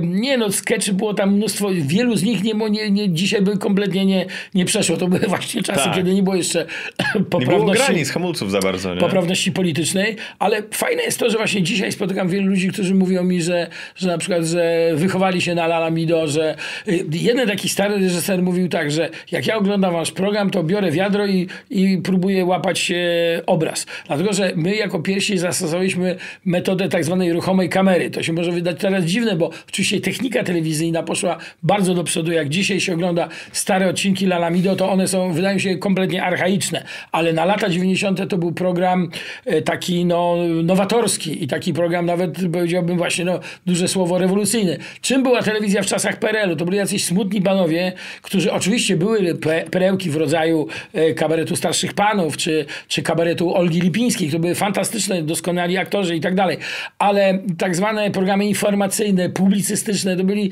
nudni kolesie, którzy zanudzali, opowiadali jakiś kwadrans rolniczy i tak dalej. Że nada kompletna, e, jakieś informacje na temat zbiorów rzepaku w województwie skiernielickim. No, normalnego widza to nie było w stanie zainteresować, a tu nagle mm, i też taki styl prowadzenia, nawet wiadomości i tak dalej, był taki bardzo poprawny, taki bardzo mm, nudny, siermiężny. Natomiast to, co robiło Lalamido, no było jakby zupełnie w kontrze, zupełnie w oporze. To była taka, mm, e, no, wojownicy wyobraźni, tak o nas e, mówiono. E, nie dość, że dowcip, dużo dowcipu absurdalnego, takiego w stylu Monty Pythona, to też właśnie na przykład pokazy mody Wigi, gdzie ona robiła pokazy mody, nie wiem, kiecki z bananów, kiecki z rzodkiewek, biustonosz na przykład, pamiętam, z rzodkiewek zrobiony. I to, to, to do dzisiaj to są rzeczy takie, powiedzmy, albo tam stroje uszyte z gazety, czy na przykład z, z worków, czarnych worków na, na śmieci zrobiła piękny, piękny taki pokaz, więc ona naprawdę potrafiła, potrafiła, miała dużą wyobraźnię i potrafiła w takich tych latach 90., powiedzmy szczerze, z perspektywy dzisiejszej, no dosyć ubogich e, estetycznie i, i, i też materialnie, potrafiła wykreować fantastyczne rzeczy. No ale właśnie, jak już miałeś tę popularność, no i byłeś, wiesz, rockmanem lat 90., czyli trochę szalonych czasów e, i tak nawiązuję do tego, co usłyszałem tutaj, jak Norbi siedział na, ty, na tym fotelu i on opowiadał, jak, jak to było, że to był, wiesz, alkohol, imprezy, popularność, żeby to był taki czas, kiedy jednak telewizyjna popularność dawała ci olbrzymią popularność, bo nie była alternatywy w postaci internetu. Czy ty mm. korzystałeś z tego życia rokowego? No bo jednak już miałeś wtedy dwójkę chyba dzieci nawet i, i, i wiesz, wieloletnie małżeństwo, nie?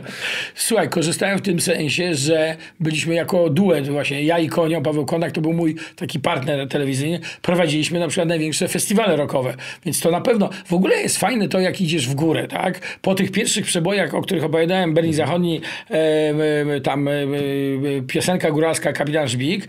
E, była chwila takiej ciszy, ale wtedy było właśnie Lala Mido i nagle skoczyła ta Makumba, kręcimy Pornola, takie przeboje z płyty z gitarą wśród zwierząt z 96 roku i to jest niesamowite, wiesz, e, to jest niesamowite doświadczenie, bo nagle to się dzieje jakby w zasadzie z dnia na dzień. E, jednego dnia grasz w klubie, no fajnie, no jest 400 osób, powiedzmy, jest super i tak a drugiego dnia grasz już w hali, gdzie jest 3000 osób. Ja pamiętam, że na początku myśmy szybko musieli podnosić podnosić ceny w górę, wiesz, bo mhm. to te, co też jest miłe dla portfela, bo e, e, posprzedawaliśmy zespół za jakąś tam cenę, no mając nadzieję, że te 300, 400, że tam góra 500 osób do klubu przyjdzie.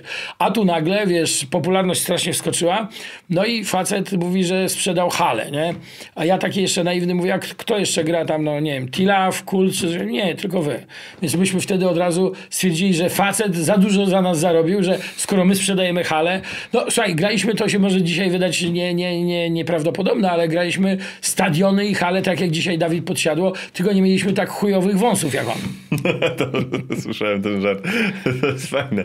E, bo też powiedziałeś właśnie takie zdanie o tym, że mm, to, to, to życie w trasie koncertowe często kończy się zdruzgotanym życiem prywatnym, a u ciebie trochę tak nie było, nie? Więc się zastanawiam, wiesz, czy te pokusy na ciebie nie działały, czy wiesz, jak to się udało? Znaczy, słuchaj, no, alkohol e, czy jakieś rozrywki. Zlał to, pewnie strumieniami. To są, to są, tak. No Narkotyki, są, to, ale co, no, tak myślę, że opowiadanie o tym byłoby banalne. To masz w każdej okay. biografii e, muzyka, no tak. masz jakieś tam historie balangi. No, e, e, alkohol jest częścią rock'n'rolla, no umówmy się. Mhm. Zresztą w Polsce, a w Polsce to już w ogóle... No, jest w Polsce, etos, tak. słuchaj, w Polsce to nie jest tak, że muzy- sportowcy piją w Polsce, mhm. hydraulicy piją w Polsce, no wiesz, pisarze piją w Polsce. Ja nie znam trzeźwego poety. No naprawdę, no większość poetów, ci powiem, że, że kiedyś kiedyś miałem kolegę, poetę właśnie Paweł Koniokonak jest poetą i wydaje tomiki. On mówi, że był na paru zlotach poetyckich. Mówi to, że nie, to rokowcy przy, przy poetach to jest tam po prostu jakaś y, przedszkole, a oni reprezentują wyższą uczelnię. Po prostu to jest,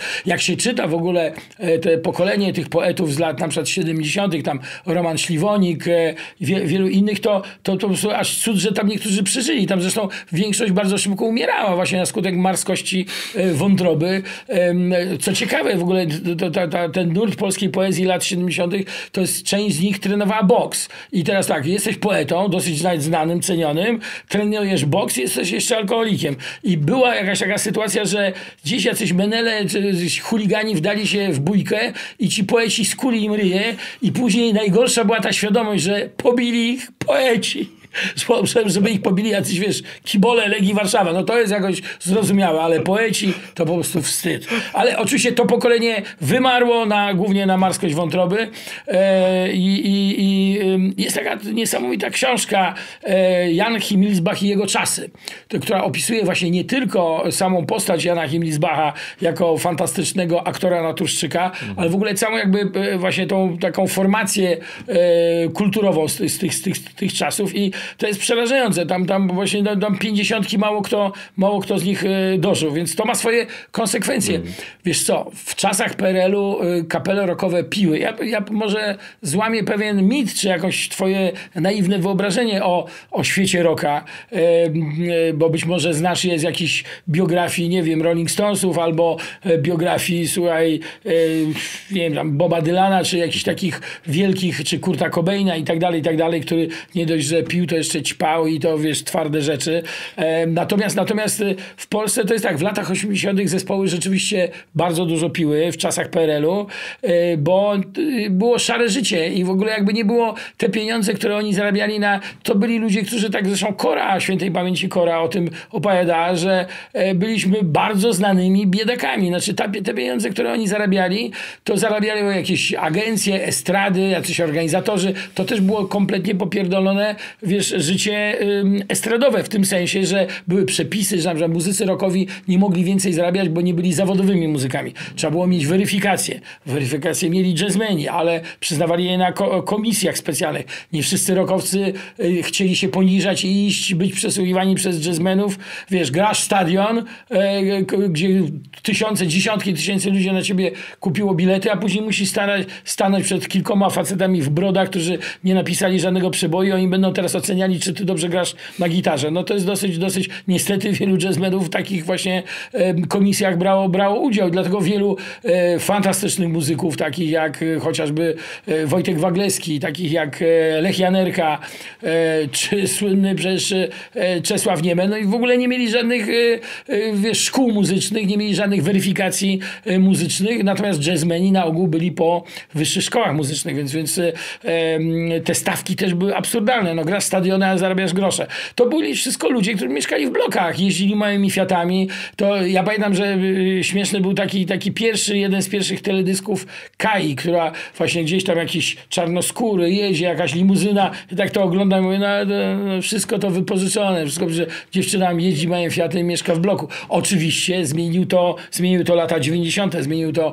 kapitalizm i muzycy zaczęli, zaczęli lepiej zarabiać. I wtedy w tej e, szarzyźnie życia e, e, to, to, to alkohol wydawał się jakimś sensownym rozwiązaniem. Zresztą ja uważam, że, że, że alkohol, e, alkoholicy pomiędzy jedną butelką a drugą butelką potrafią coś e, ciekawego powiedzieć, a ci, którzy wytrzeźwieli niekoniecznie. Przykładem Paweł Kukis. To a propos, już możemy tak klamrą e, zmierzać troszkę do końca i a propos wolności, jako wiesz, człowiek wal, walczący o wolność, nawet takie piękne zdanie na temat tych czasów PRL-u powiedziałeś, że byłeś wolnym człowiekiem w niewolnym systemie. E, I tak się zastanawiam w ogóle na samym... Byłem, kon... byłem wolny w czasach, kiedy nie było to modne. To też, nie? A, ale zastanawiam się nad samym konceptem, bo jak sobie spojrzysz na przykład na internet, na, na w ogóle y, trochę stronę, w którą świat, świat zmierza, to my jesteśmy często gotowi bardzo wiele swojej wolności oddać, w zamian za na przykład wygodę, za komfort czy za bezpieczeństwo. I się zastanawiam trochę przekornie, czy zatem wolność może nie jest, może, może nie jest tak wartościowym konceptem, jak nam się wydaje. Słuchaj, są ludzie, którzy bez wolności nie mogą żyć. Hmm. Taką formacją, mam nadzieję, są artyści którzy bez wolności są jak ryby na piasku, po prostu szybko przestają oddychać. Natomiast e, albo stają się artystami dworskimi, co jest jeszcze bardziej smutne. No, być, bycie rządowym artystą, czy artystą takim, e, wiesz, e, tak zwanym dworskim, czy takim, wiesz, na, na, na posyłki, no to jest, to jest, nie ma nic smutniejszego. Natomiast z przyciętymi, to jest taki artysta tak zwany z przyciętymi skrzydłami. Natomiast na pewno są środowiska, gdzie, gdzie ta wolność nie jest jakaś taka uświadomiona może, w tym sensie, że wolność jest każdemu człowiekowi potrzebna, ale wolność też powoduje odpowiedzialność. Wolność jest trudna, nie jest łatwa. My naiwnie myśleliśmy w PRL-u, że no, wystarczy wolność, wystarczy, że Ruscy stąd wyjdą, już będzie ok. To, to nie jest tak do końca. Się okazuje, że ta budowa y, kapitalizmu no, nie, nie obyła się bez ofiar. Jednak tysiące ludzi straciło pracę, też nie odnalazło się w tym systemie. Nagle, wiesz, jesteś w systemie takim półniewolniczym, gdzie właściwie, wiesz, masz się nie odzywać, masz siedzieć cicho, a jak będziesz chodził do roboty między 8 a 15, jakoś tam sobie te swoje marne życie przeżyjesz, nie niepokojony przez e, nikogo, a tu nagle każą ci być kreatywnym, każą ci być, wiesz, masz wziąć swój los w swoje ręce. Jak? Jak ty całe życie byłeś na, eta na, na etacie. I dla ludzi z PGR-ów, czy dla ludzi z jakichś fabryk, które rozwiązano nagle, jakieś, wiesz, po, poupadały przez jakieś huty, jakieś kopalnie, no ci ludzie naprawdę znaleźli się, wiesz, i teraz każą im być wszystkim kapitalistami. No nie każdy jest e, do tego jakby predystynowany, ma do tego smykałkę, żyłkę i tak dalej. Ci, którzy mieli, to oczywiście w latach 90. od razu sobie poradzili, tworzyli jakieś najpierw przemytnicze formacje, które właśnie o tym pisze, wiesz, jest, śpiewa zespół Bixy z piosenka Berlin Zachodni. Najpierw zorientowali się, że tu taniej, tu drożej, wystarczy przewieźć, sprzedać, zarobić i tak dalej. E, I, i tak powstawały przecież fortuny. E, później no, trzeba było mieć pomysł na jakiś biznes i ktoś, kto był szybszy, sprawniejszy, bardziej zorganizowany, bardziej pracowity, to dochodził do naprawdę dużych pieniędzy. Fajne jest spotykanie się z takimi ludźmi, bo ludzie pracy, ludzie kapitaliści są dzisiaj wzgardzeni, bo jest silna lewica, tymi przedsiębiorcami się gardzi i tak dalej, i tak dalej.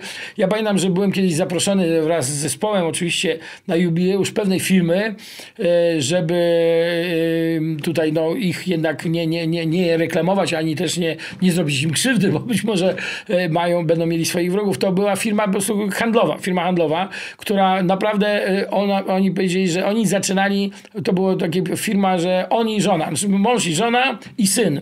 I towar wozili małym Fiatem. To wydaje się śmieszne. Handlowali tam jakimiś orzeszkami czy czymś.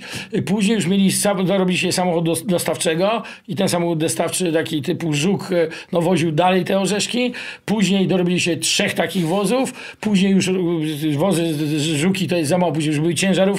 Później już była firma, magazyny, a dzisiaj są olbrzymią firmą, która po prostu ma tam, nie wiem, kilkaset tych, tych, tych ciężarówek i po prostu e, są no, tych jakichś tam centrów dystrybucyjnych mają mnóstwo i tak dalej. I to jest właśnie taki przykład etosu pracy. I to byli ludzie i mówi, że i oni zaprosili Big Cyca, i dlaczego? Dlatego na jakieś tam 30-lecie swojej firmy. Dlatego zaprosili, mówi, że jak jeździliśmy tym małym Fiatem, właśnie woziliśmy te, te pierwsze worki małe, w ogóle ile worków może się mieścić w małym Fiacie, woziliśmy ten towar, to słuchaliśmy na kasetach magnetofonowych Big Cyca i to nam tak w głowie zostało, że tylko Big Cyc mógł to zagrać. I ja powiem Ci, że byłem dumny, że jakby ludzie, którzy słuchali Big Cyca doszli do takich pieniędzy, mają takie sukcesy, to jest fajne, to jest super, bo ja nigdy nikomu nie zazdrościłem e, pieniędzy i Absolutnie nie jestem materialistą, dlatego ostatnio rozstając się z żoną zostawiłem jej 90% majątku, dlatego że dla mnie na przykład miałem zawsze kolegów takich, którym brakowało na piwo albo brakowało do pierwszego, ale miałem też zawsze kolegów, którzy mieli bardzo dużo pieniędzy i mam ich do dzisiaj, którzy, są, którzy mają jakieś jachty czy są milionerami. I to, że są moimi kumplami e, to jest e, nie to kto ile ma w kieszeni, tylko czy my mamy jakieś wspólne porozumienie, czy mamy podobne poczucie humoru, czy się po prostu lubimy, czy lubimy ze sobą przebywać a nienawidzę ludzi, którzy właśnie epatują kasą albo się nią chwalą, bo na pewnym etapie to jest normalne, że masz pieniądze i na pewnym etapie jest normalne, że masz e, prywatny samolot, czy tam willę z basenem i tak dalej. I to, to mnie w ogóle absolutnie nie szokuje. Ja wręcz odwrotnie, ja w ogóle nikomu nie zazdroszczę, tylko się cieszę, że moi kumple do takich pozycji doszli i to jest fajne, bo to jest takie amerykańskie myślenie, że skoro sąsiad ma basen i Cadillaca, to może ja pracując i płacąc podatki w tym kraju, też kiedyś dojdę do basenu i do Cadillaca. Ja oczywiście nie mam takich ambicji, żeby mieć Cadillaca czy basen, ale mówię tutaj e, metaforycznie. I tego nam w Polsce brakuje, bo my sobie zazdrościmy, my sobie, no to jest to słynne, słynne, e, słynny taki dowcip, że, że, że jak, jak, jak, jak wiesz, jak e, e sąsiadowi e, krowa się e, ociliła, no to, no to jak pojawiła się u sąsiada złota rybka, to pierwsze życzenie, co chcesz? No mógł zażądać złotego Nie on zażądał, żeby temu sąsiadowi krowa zdechła z tymi, z tymi, z tymi mm. cielakami. Więc to, to jest takie, wiesz, no, cieszymy się z, cudzych nieszczęść. Pamiętam też, jak kiedyś na przykład y, takie przykre sprawy, jak y, Adam Małysz, no, to jest właśnie polski bohater, tak, który przyniósł Polakom wiele radości, zdobył dla nas jakieś złote medale dla Polski, e, mistrzostwa i tak dalej. Od niego zaczęły się te e, fanatyczne kibicowanie skok, skoczką narciarskim. I jak mu się spalił dom, na, jakaś, jakiś, jakaś tam jakaś fundacja była i spalił się dom, to w internecie były opinie na biednego nie trafiło. Więc nawet on, ale jak sobie Lewandowski kupił... Teraz na, nawet na Jest mnóstwo hejtu tak, tak, tak, tak, tak, tak, tak. Także, także y, Właśnie, bo mówiłeś o tych granicach wolności, że, że rzeczywiście no, dzisiejsze czasy, ja, ja zawsze mówię to młodym ludziom, że paradoksalnie my w latach 80. mieliśmy łatwiej, bo wszyscy mówią, że mieliśmy trudniej, bo nie było mięsa, nie było tego, nie było tego, nie było papieru, dlatego staliśmy w kolejkach i tak dalej. Ale wybory były łatwiejsze. Byli my i oni, było ZOMO i byliśmy my. I, i ten podział świata był naprawdę prostszy, a dzisiaj te granice tak łatwo nie, nie przebiegają, są, są, są o wiele trudniejsze i odnaleźć się w tym świecie, gdzie jest mnóstwo z jednej strony hejtu, ale z drugiej strony jest mnóstwo e, też fejków, wiesz, e, fałszywych stron, fałszywych informacji, e, wiesz, na, na, różne tematy i polityczne i takie. Russia Today zatrudnia, czyli rosyjska stacja mhm. informacyjna, tak, tak. zatrudnia aktorów, którzy udają, słuchaj, wiem, że mają aktora na przykład tam premiera Wielkiej Brytanii, jakiegoś, wiesz, prezydenta Francji i tak dalej. I czemu to służy? Służy właśnie chaosowi. Ten, ten chaos w mediach bardzo często powodowany jest właśnie przez przez e, rosyjskie farmy troli i ludzie sobie nie zdają, zdają sprawę. Często w dobrych intencjach publikują jakieś, ja pozbyłem się bardzo wielu znajomych, którzy publikowali jakieś rosyjskie właśnie e, fałszywe treści, na przykład antyukraińskie. Mhm. Tak, w ogóle nie mam, nie mam sentymentów, takich ludzi od razu kasuję, kasuję ze tak. znajomych, czy jakiś, jakiś tam antyszczepionkowców i tak dalej. 80% informacji antyszczepionkowych zgenerowanych przez rosyjskie y, portale, tak? I są wymyślane różne akcje i tak dalej. To wszystko ma y, za zadanie skłócić Europę, zasiać niepokój. To, tak, oczywiście. Się steruje są stare metody. Jednak, jednak Rosjanie, pamiętajcie o jednym, bo my, my, u nas jest też taka szkoła, że y, o, Rosjanin, tego, idzie Rosjanin w jednym bucie i podchodzi do niego towarzysz, mówi, towarzyszu, zgubiliście but. Nie, znalazłem. No, no więc to jest, że niby biedna Rosja i tak dalej. Ale pamiętajcie, że to są szachiści. Jest, są dwa narody, które dobrze grają w szachy. Izrael i Rosjanie. E, więc zresztą połowa tych Rosjan, która e, e, dobrze gra w szachy, to są też pochodzenia żydowskiego. Więc ci, którzy dobrze grają w szachy, dobrze, dobrze radzą sobie w życiu. I, i niestety no, Rosjanie wykorzystują to w, po tej złej stronie mocy, tak bym to mhm. określił. Mm, tak, tak, to dobrze, dobrze strategzy. E, Krzysztofie, bardzo Ci dziękuję za, za to spotkanie. Mam wrażenie, mam wrażenie, że nagadałem mnóstwo głupot. Jeżeli tak, to bardzo Państwa przepraszam i że strasznie Was zanudzałem, ale y, no niestety po raz kolejny nie, da, nie, da, nie dałem dojść prowadzącemu do słowa. Ostatnio mówią mi, że wszystkich prowadzących zagaduję i to też się potwierdziło. Przepraszam, chyba jestem pierdolnięty. Sorry. Trochę tak, ale z drugiej strony masz fantastyczne historie do opowiedzenia i, i to dla mnie jest zaszczyt i, i przemiło mi było dać tę przestrzeń, To nie było nawet 10%, musimy się na całą serię mówić. To mam nadzieję, że jeszcze się tutaj spotkamy. Bardzo ci dziękuję. To jeszcze tak e, na pożegnanie, bo e, słuchałem też twojej piosenki Wolność Słowa na kartonie i mi się Micha cieszyła po prostu przez cały ten utwór. E, kiedy jeszcze może daj datę tylko albumu? Czy będzie... Kiedy... Lada moment, dosłownie lada dzień wyjdzie płyta pod tytułem Wolność Słowa na kartonie, mhm. skąd pochodzi ten, ten, ten numer. E, to jest taka e, i piosenka, i płyta na pożegnanie PiSu. E, mocno antypisowskie piosenki, ale właśnie żegnamy PiS, żegnamy was z uśmiechem na ustach i żegnamy płytą. I mam nadzieję, że trochę odetchniemy, że trochę i satyrycy zajmą się innymi tematami. Ja mam dużo tematów niepolitycznych. Zresztą cały mój program komediowy polega na tym, że dwa, tak naprawdę 20% to jest o polityce, bo gdybym ja przez dwie godziny na scenie opowiedział, opowiadał o polityce, nawet śmieszne rzeczy, to myślę, że byłoby to e, niestrawne. Także mam nadzieję, że nastąpi to takie wyżyganie się polityczne i teraz przez jakiś czas e, odetchniemy wszyscy, będziemy mogli sobie robić żarty, e, nie wiem, z na przykład par, który, które mają różnicę wieku, albo na przykład z ludzi otyłych, albo na przykład z ludzi, którzy nie dają prowadzącym dojść do słowa. O, taki program, taki dowcip prawdopodobnie byłby bardzo zabawny.